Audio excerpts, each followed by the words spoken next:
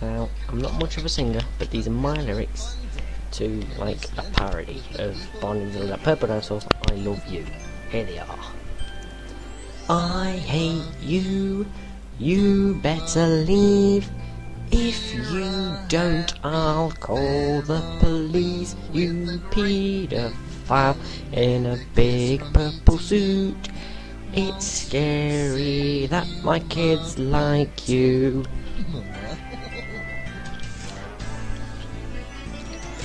I hate you, you're still here.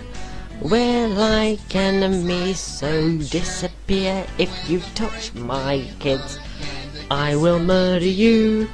Guess what, Barney? I'll kill you. I think what I did there was somewhat what every every single person that hates Barney wants to say.